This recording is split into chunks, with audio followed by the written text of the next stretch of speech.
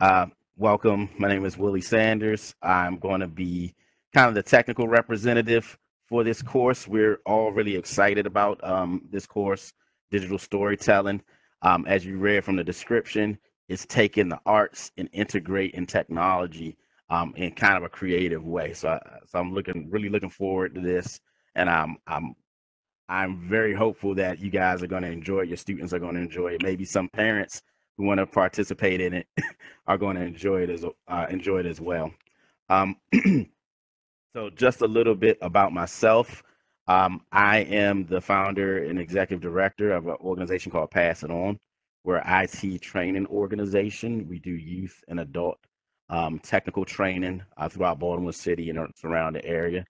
Um, our main focus is on preparing uh, youth and adults for the IT workforce, but we also do youth enrichment classes.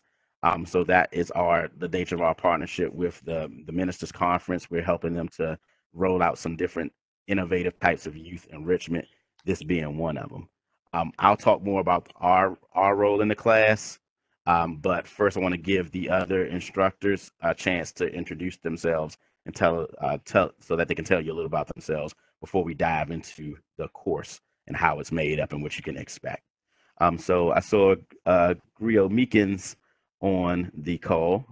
Um, so if, if you want to, let me take you. I think you might be on mute. You want to go ahead and introduce yourself, Ms. Meekins? Right. Um, my name is Sandra Meekins, and I am a what can you say, griot uh, at the Arena Playhouse.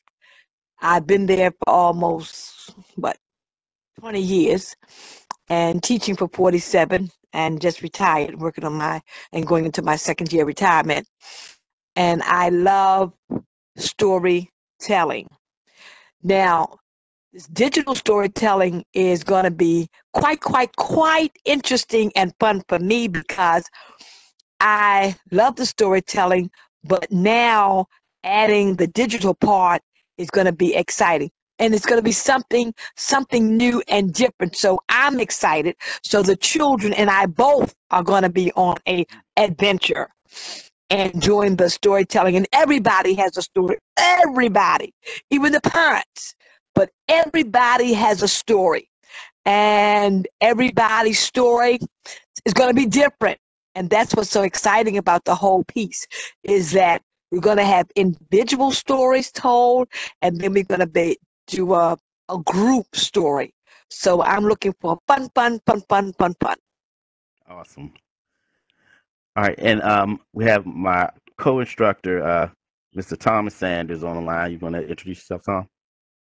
Uh, sure thing. Uh, hello, everyone. My name is Thomas Sanders. Um, I'm here as a co-instructor uh, for this particular class. Um, through Pass It On, I also uh, co-instruct the uh, audio engineering um, in Baltimore City. Uh, we've we've worked with a couple of schools there, um, teaching uh, not only the audio recording and engineering, but also music. Um, that's sort of my background. I have about 20 years of um, guitar performance experience, piano, several instruments and, and uh, music, um, but also have uh, a theater background as well. Um, growing up, I spent about 12 years studying theater. Uh, so a little bit about, uh, you know, writing plays and stories and, and things. And um, also with that, with the theater training, um, also have a few years of um, art as well.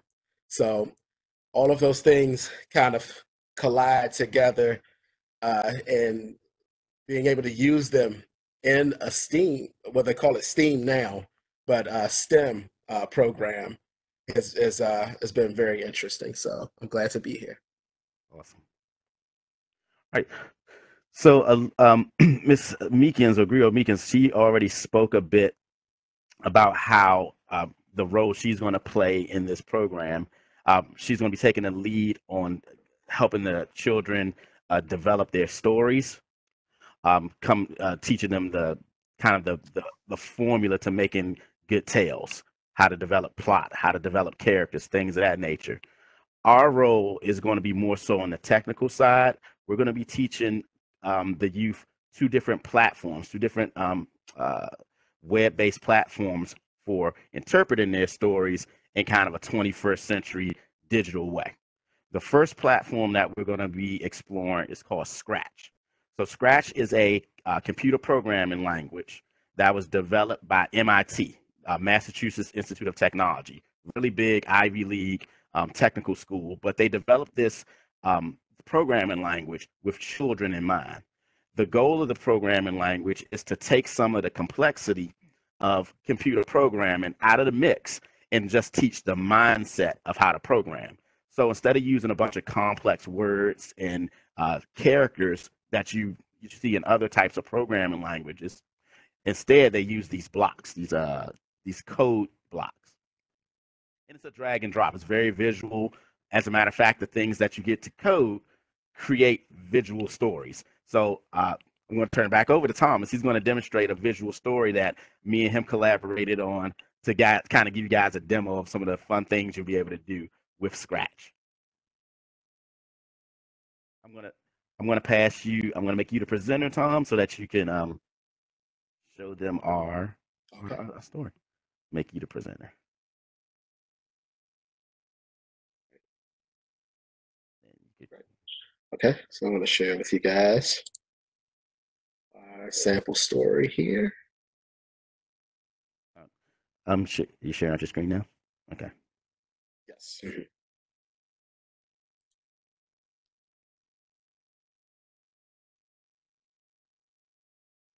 Sure this is correct.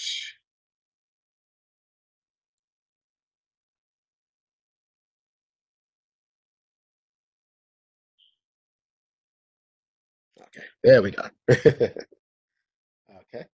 so this is once again this is a Scratch program, and then this is our short story, uh, Journey Through Space.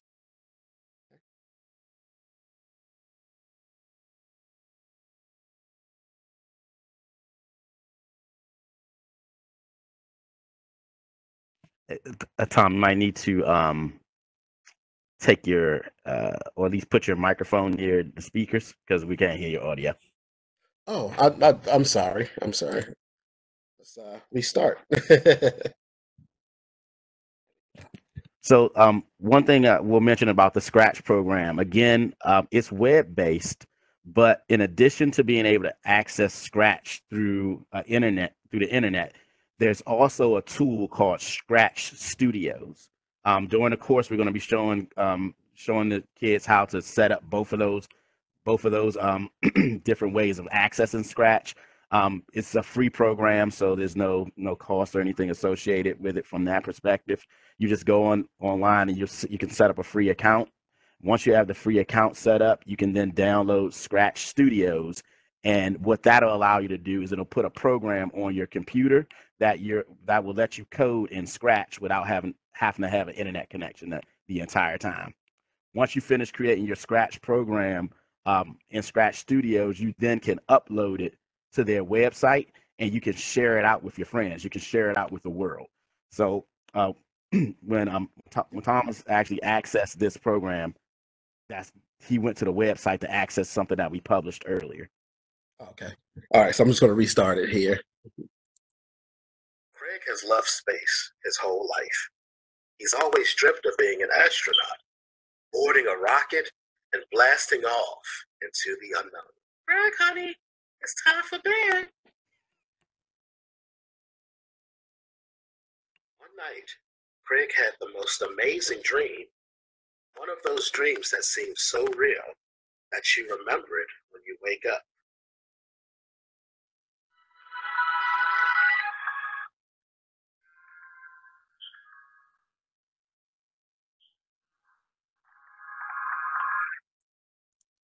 Slipped off to sleep, he pictured himself boarding a rocket ship bound for the moon.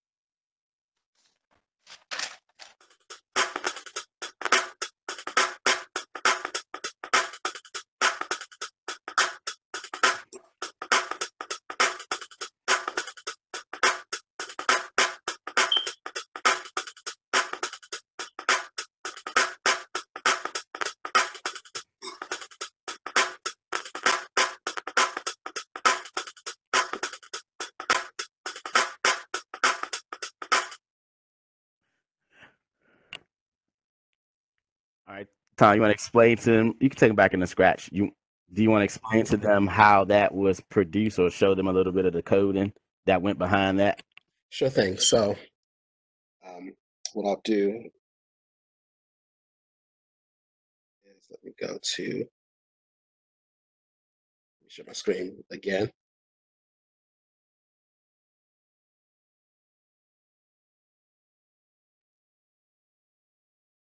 Do is open up the Scratch uh, desktop.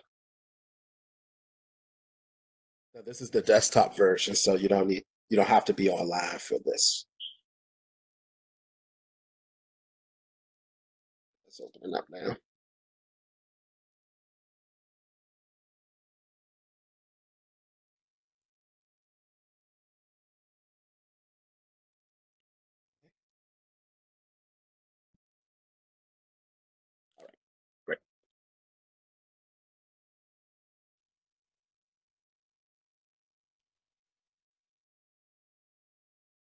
Okay. Yes. So, while this is loading, um, just like uh, Will said, the cool thing about Scratch is that it's a drag and drop program. Um, it basically where you can kind of connect. It's almost like uh, it's it's like a, a, almost a digital form of Legos, if you will. It's a good way to explain it. So it has a couple of uh, different color codings. So you have your blue here, motion, and that'll will explain more and more uh, in detail of that. But you want to give you a general idea. Uh, so basically, what we did, if I open up the the story that we just did, I can show you all of the commands that basically went into developing that short story.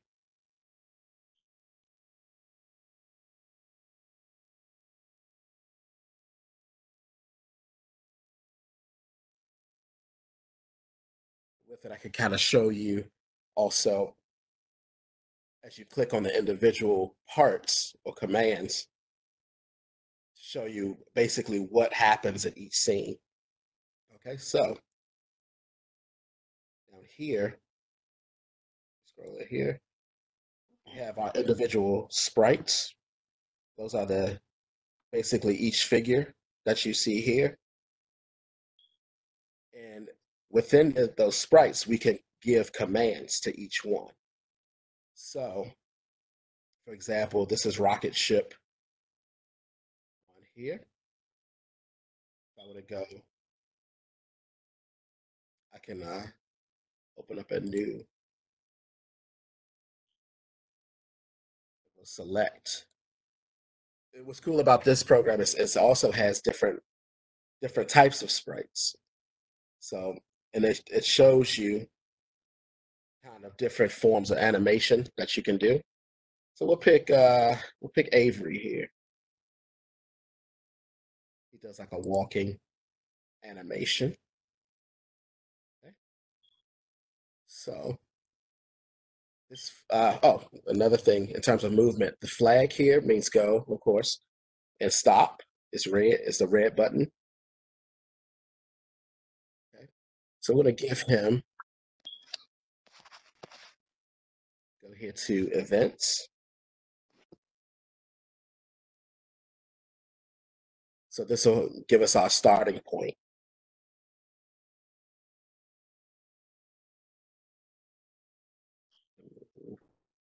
Him.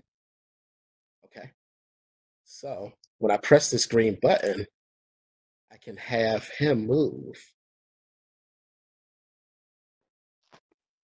So just just to interject, this kind of fo- this kind of shows you or demonstrates how the Scratch language focuses more on the mindset of being a computer programmer or coder versus bogging um, people down in figuring out all of the complex code. Because here, you're thinking like a it gets you thinking like a programmer. What do I need to do to make Avery start walking? Uh, well, I need to click on this little green flag, or maybe I want it. Maybe I want something else to start Avery to walking. But I get to make that decision. I, it's, that's part of my logic process, part of my thinking process. Um, and then after I click that flag, what do I want to happen then? Well, according to the code that Mr. Thomas just put in there, he wants Avery to move from one point on the screen to another point on the. Uh, we'll start at one point on the screen and then move to another point on the screen, and that was that's what's going to create that movement effect. All right, so this is uh, the Roblox uh, registration page. Roblox is a game uh, gaming platform, a mobile gaming platform that a lot of kids are playing nowadays on their mobile devices, their tablets, their smartphones. But it also allows you to play on PC too. Um, cool part about this game is it's not just one game. It's a bunch of different worlds. Some of them, some of the worlds are created by companies. Some of the worlds are created by individual users, just you know, average people at home who have an interest in uh, coding and game design, and they want to be able to build their own environments to play in. Um, so Roblox gives us that opportunity to teach coding in a fun way, um, and it just requires you setting up a free account. So in order to set that account up, you just go to roblox.com. Um, you have to put in you know, some demographic information, birthday, uh, create a username for yourself, a couple, uh, answer a couple of simple questions, and then you sign up. Once you sign up for Roblox, what that does is it gives you access to the game itself. Um, that account can be used to log in on your computer to play Roblox, or you can also use that same account to download the Roblox app onto your mobile device and then play the Roblox game there. We're taking it a step further by using a separate piece of software called Roblox Studio. Roblox Studio is the programming environment that you use to actually create these Roblox worlds. Once you use the Roblox Studio software and create your environment, you can then upload it to Roblox website uh, where you and your friends, or you can even make it open to the general public, can they can all play your game. This is, is an example of Roblox Studio. Um, so once you have that installed on your PC or Mac, those are the only two platforms that it's able to be installed on. Uh, you can't you can't put it on a tablet. Unfortunately, you can play the game, the Roblox game, on a tablet or smartphone. But when it comes to actually building your world, you have to be on a PC or a Mac. Um, so that that's one limitation. But um, hopefully, we can get everybody access to a you know a PC or a Mac in order to be able to take part in this portion of the uh, program. Um, once you're in that world, though, we're going to be taking students through the process of being able to navigate this programming tool uh, that they that we call Roblox Studio. We created a sample world there called the Church Shall Lead. You can see the name of our our environment there and there. Um, and we built a church, or we uh, we didn't build this one from scratch. We modified one. Um, there's a lot of prefabricated uh, items like cars and characters that you can add to your world, and then you can put code behind them, similar to what we did what we did in Scratch, to make them do certain things. So in this uh, environment, we just created a big grassy knoll, big grassy area for the church to sit in, um, and then we can move it around. So if I use the move tool, I can reposition, you know, where it's where the building is, maybe pull it up or push it down I can change the scale of it. I can make it bigger or smaller. I can rotate it. I can do all types of things. Um, and I can add more things to its environment so it doesn't look so plain. We're going to learn all about how to do all of those actions. And then once I have everything set up, if I want to actually test it, I can go and I can I can allow my character, my Roblox character, usually my test world that I can explore to see how it will feel once I'm actually playing this game.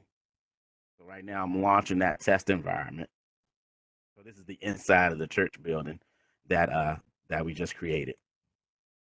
Like I said, cool little game similar to uh, Minecraft if you're familiar with that. Everything everything in this environment in this church was built with basic shapes. So again, this this build probably took somebody a while, but they have um, the ability to once you build something this complex, you can share it with the rest of the Roblox community and let them use it free. That way, uh, other people don't have to build it from scratch. So this was built by a community user. but we went in and changed things like we made the lighting different. Uh, we put, repositioned the building a bit. We changed the way that the light shines through the windows, and all that stuff is done with code. Another cool feature of Roblox is you don't have to work alone when you're in the Roblox environment. Uh, there's a tool that we're going to be teaching the students about called Roblox um, Team Create. With a Roblox Team Create, um, you're able to collaborate with other people. Um, you can see right there it says TSAN0284. That's That's Mr. That's, that's Mr. Thomas's uh, character. And, and over here on the side where it says Team Create Beta, I'm Cupid299. He's TSAN0284. We're collaboratively working on this Roblox world. So if we want to test this Roblox world together, I can then go to um, home and I can go to this team test feature. What this will do is it'll drop both of us into the into the uh, into the world.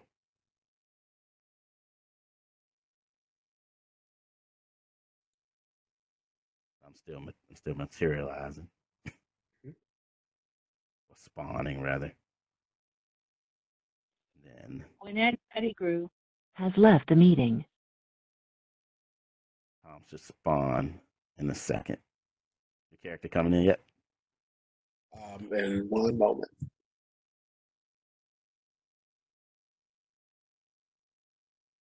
That little pad that I came in on is called the spawn spawn location. That's where your character materializes into the game.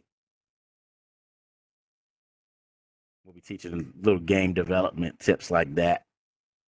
You can have multiple spawn points like this. So if I if I'm creating if I'm turning my story into a game, say maybe I maybe I wrote an adventure story, and that kind of lends itself towards an adventure game. I might want that uh, adventure to be a little bit more drawn out. So I'll create multiple spawn points. That way, somebody can use them as a checkpoint. They they make it this far in the adventure, and then they make it to that second spawn point. Um, and then if something happens, their character falls off a cliff.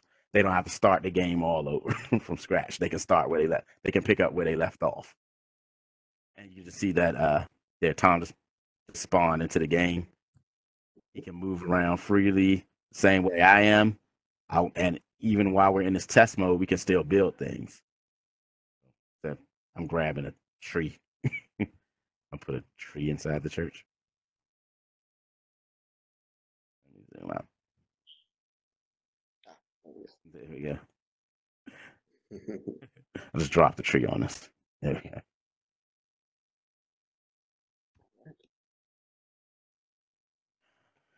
Um, but addi- in addition to again the game design aspect of this, this also reinforces coding because once we have objects inside of our game environment, I'm going to come out. I'm going to exit out of the out of the team play right now.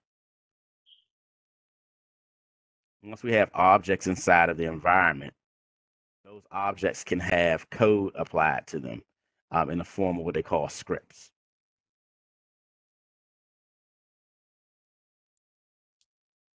Let's see if I can find an example script to show you.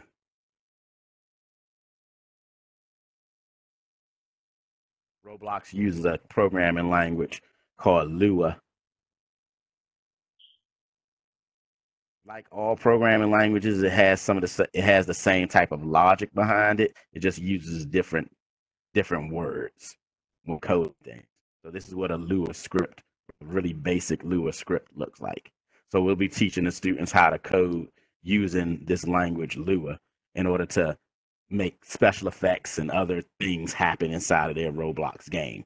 Like for example, one one uh, effect that a lot of of games that I've seen on Roblox platform ha- um, have are the ability to make their characters fly. So that happens through applying a script to your character. You can give them the power of flight. So this will be really cool when, when once they start coming up with their stories, coming up with their um uh their stories, they can then adapt those stories to a game environment. Um, because that's essentially all video games are nowadays. They're they're stories that you get to actually play.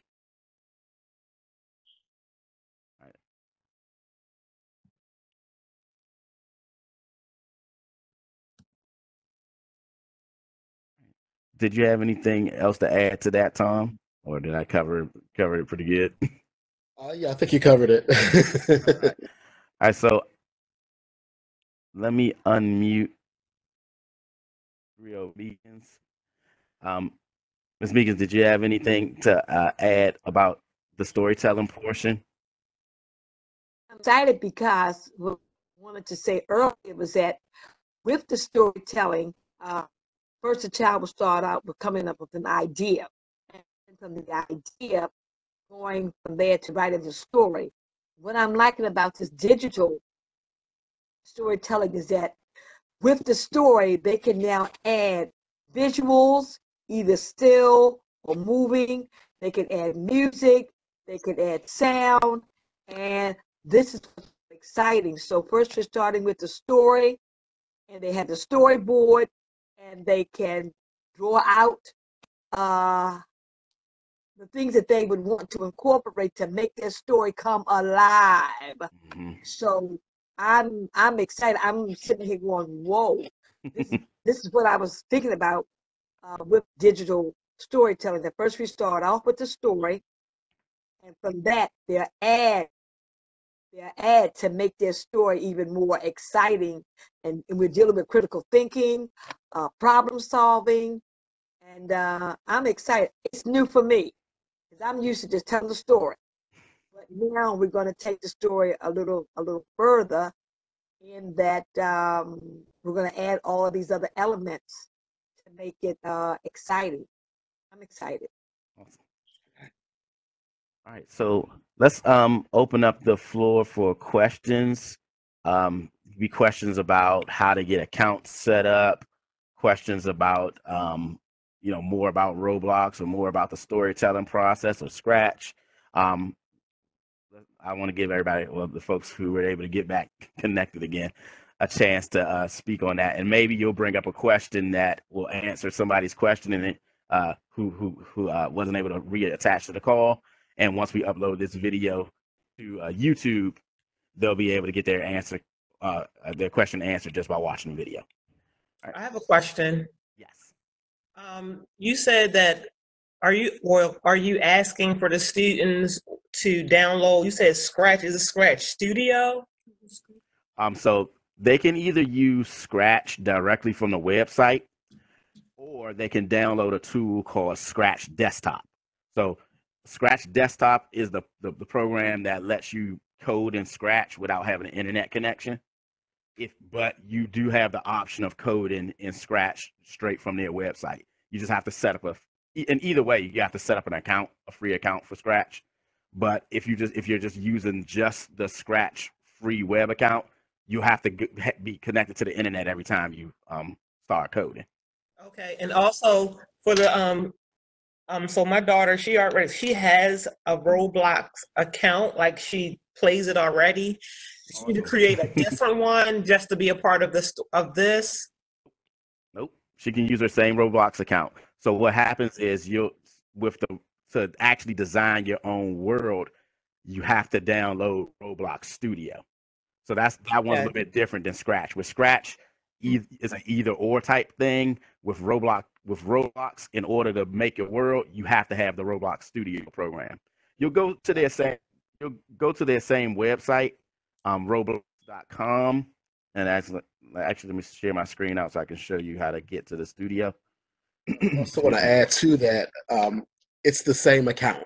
So the, the same account that you use for uh, to play Roblox, when Uh-huh. you go into Roblox Studio, it's the same account. Okay, Same account, just different program. for programs. Right. I'm, I'm just going to share my screen out again so I can show you wh- how to get to that Roblox. Um, excuse me, the Roblox Studio program. So easiest way is if you go to Google and just Google Roblox Studio. It'll take you to a page in their website still part of the Ro- the Roblox website, but it's under is a sub page under the Roblox.com. It's called Create. So roblox.com slash create, or just Google Roblox Studio, and it'll bring you here to this page, I'm letting you know that you can make your own world uh, with the free immersive creation tool. You hit that start creating, and this will this will trigger a download. I already have it on my computer, of course. Um, so it's telling me, you know, just open up what you have. But if you don't have it on your system already, it'll start the download. You can click that download studios button and it'll start the download process. And then you just run the install. It's pretty straightforward, like a next, next, next type thing. Um, and it it'll get that program installed on your computer. You then you then launch it whenever you want to work in Roblox Studio. You don't have to be connected to the internet. You launch it. It'll open up the, the environment that I just uh, demoed for you and then you can start creating your Roblox world. Um, one thing I like about it is you can start designing. You can get designing your own Roblox world in within a couple of minutes. It's, it's very easy to pick up. As a matter of fact, you don't even have to have the code in order to start designing your world. You can drag and drop things and and put in items that other people have created. Start building your world that way. And then as you get uh, more comfortable with it and better and better with it then you can start incorporating the code and to make to make the objects that you've added to the to your world do cool and crazy things. Um, and we're going to be taking taking them through that. We're, we're going to be spending the majority of the program um, focused on that. So the the program is 10 weeks uh, if if that wasn't mentioned before um, so we're going to be spending six of those weeks on Roblox and four of those in the first four weeks on Scratch and the final six weeks on Roblox. So they're gonna have a decent amount of time to be able to kind of dive into Roblox and get really good at developing your own worlds. And as you make your worlds, you get to you can publish them online and you can share them with your friends. So that she said you said your daughter already plays. Now she'll be able to she'll be able to invite her friends to the world that she built and they can run around and play in it. Oh, okay. I have one more question. I'm sorry. Mhm, No problem. Um, are we, is this, I know this is for the summer, this, this, um, class is for the summer. Or is it for the summer? Like, are they supposed to be, are we supposed to be meeting weekly on here? Like, Yeah, so we're it'll be kicking off next week on the 23rd, and it's going to be running through June 25th through the beginning of the, um excuse me the beginning of the summer. Uh, we're meeting weekly on Thursdays. I think we're we were originally going to meet on three at 3:30, but I think we pushed that back to 4:30 from for for 90 minutes from 4:30 to what's that six o'clock? excuse me. Once a week, and that'll be to cover both the story the storytelling portion and um, the the the coding aspect. okay, so do you need the parents on here or just the student? Just the student. If the parent wants to be on and participate, that's fine too. But if your student is able to get online and um, uh, connect to the WebEx and everything, then the student can just uh, connect. Okay. And so we'll get an invite. I don't mean to be doing all the talking, but we'll get an invite for next Thursday. Yeah. So um, I'm going once following this, we're going to be setting up the the WebEx invite for the for a reoccurring meeting every Thursday. Um, so what'll happen is once that reoccurring meeting gets set up every every week, you'll get a reminder 30 minutes before the class starts. Okay.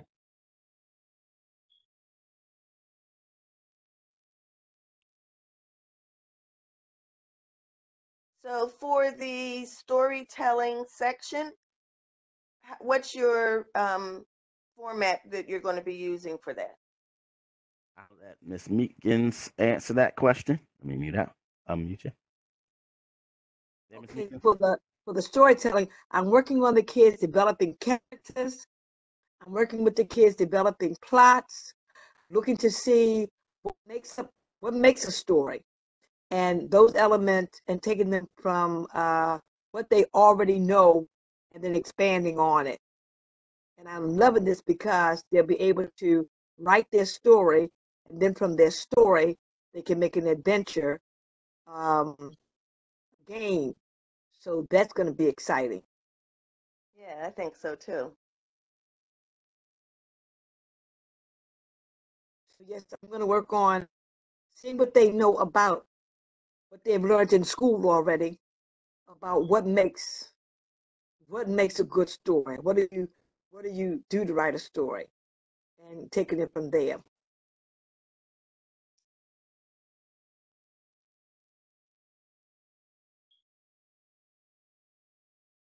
And that's for 90 minutes as well? Well, what we were looking at um, in that Mr. Dr. Saunders and I would split the 90 minutes.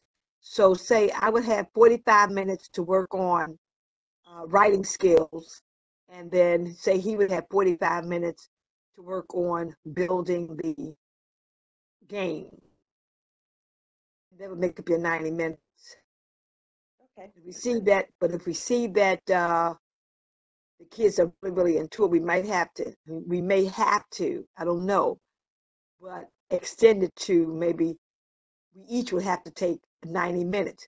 That being the case, we would have to, as opposed to one day a week, we'd have to do maybe two days a week. In that I would have my 90 minutes to teach the writing, and he would have 90 minutes with the storytelling. I mean, with the um, um, adventure. Yeah, because students, some of the students are at different levels. So, you know, that may be, that may work a little better. Also, I'm not, excuse me. Also, the benefit of um, the technology side of it, since these are free tools that people can just download onto their computer, even after we finish the instruction. So, my goal is really to help them learn how to use these programs and then set them loose, right? So, if a kid is like really into it, they got they got their story, they got starting to develop their characters. Um, once I show them how to use certain tools in Scratch and Roblox, they can be working on it throughout the week. Okay, yeah, that's good.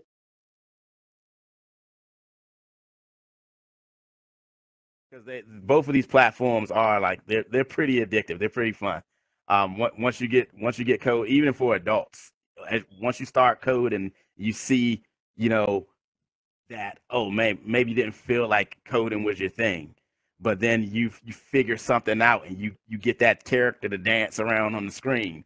It, it's kind of a rush, and um, and the kids will- they'll they'll get into it. Next thing you know, they'll be they'll be making Roblox characters and coding their own little scratch videos and games without you prompting them.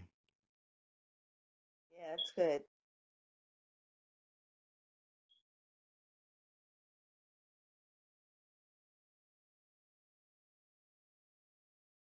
We got any other questions?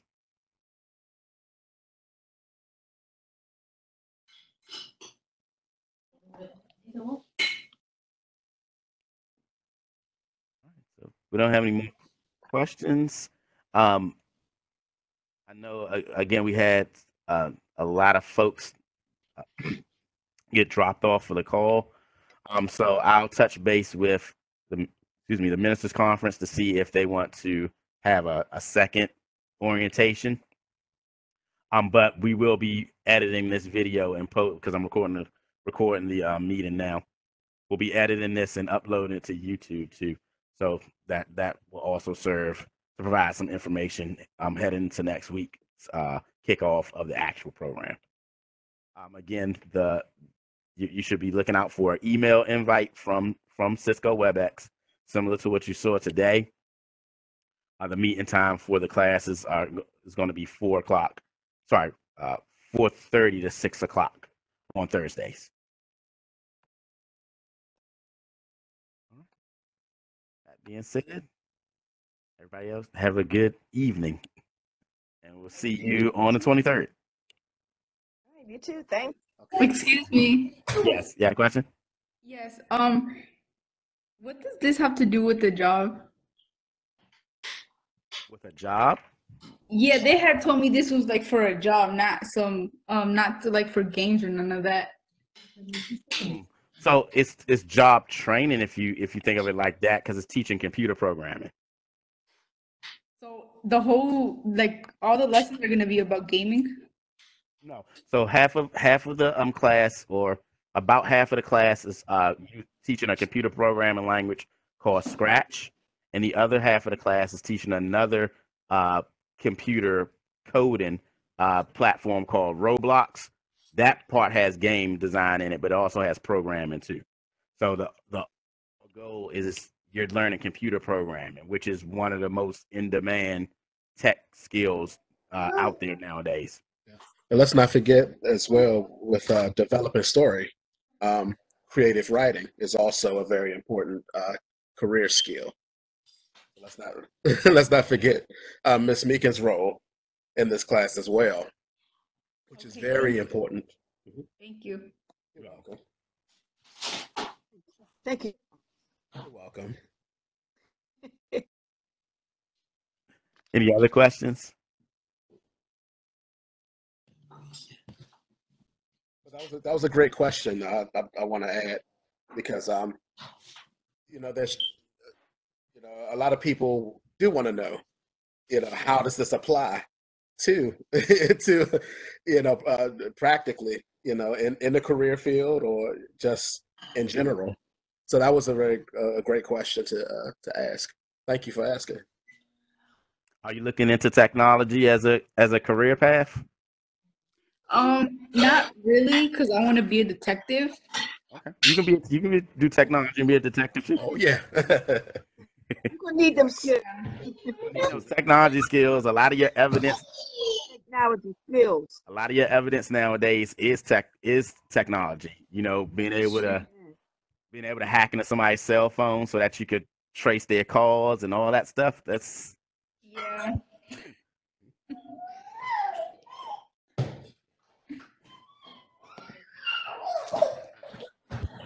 all right. Um, if we don't have any more questions, I'll go ahead and end the meeting. Um, feel free to email me uh, if you have if you do have any additional questions that come up later. I'm going to put my email address in the chat real, really quick so y'all can see it.